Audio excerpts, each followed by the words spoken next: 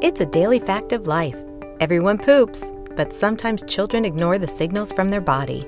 Ryan's been having a little bit of stomach pain off and on for the last few weeks. Um, I'm not sure she's able to use the restroom consistently. Pediatrician Dori Mortimer of Children's Physicians Medical Group says constipation is a common complaint among her young patients. Are you using, going every day? Are you having stomach aches all the time? Stomach aches are off and on. If you don't have enough water intake on a daily basis, your body will take everything it can from the food coming out and that'll bulk it up and make it more painful to pass.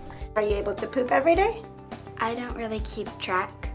Constipation signs and symptoms may not always be as obvious as people would think, and that it can fairly easily be improved or remedied with some close attention to water intake, fruits and vegetables and natural foods, and exercise and paying good attention that the children are getting those things on a daily basis. Sometimes good bathroom habits change when young children start school.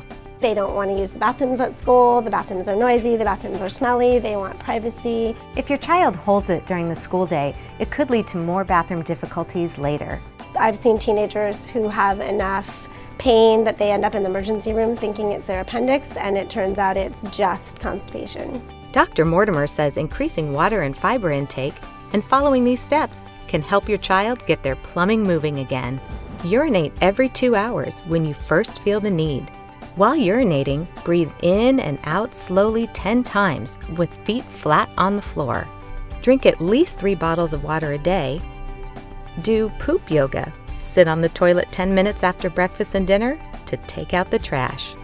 Read, draw, or listen to music.